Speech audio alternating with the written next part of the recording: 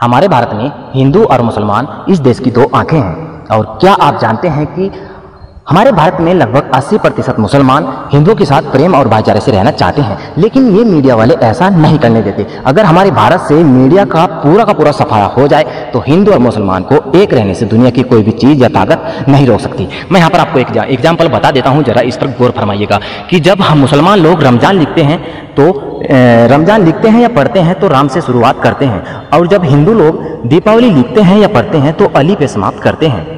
तो रमज़ान में बसे राम और दिवाली में छिपे अली हमें मोहब्बत से रहने का पैगाम देते हैं।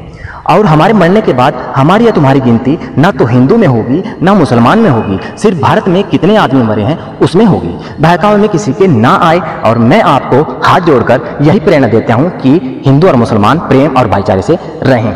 तो हमारी वीडियो आपको पसंद आई हो तो लाइक और शेयर और हमारे चैनल को सब्सक्राइब ज़रूर कर लीजिएगा। मैं जल्दी मिलूँगा एक और नई वीडियो में।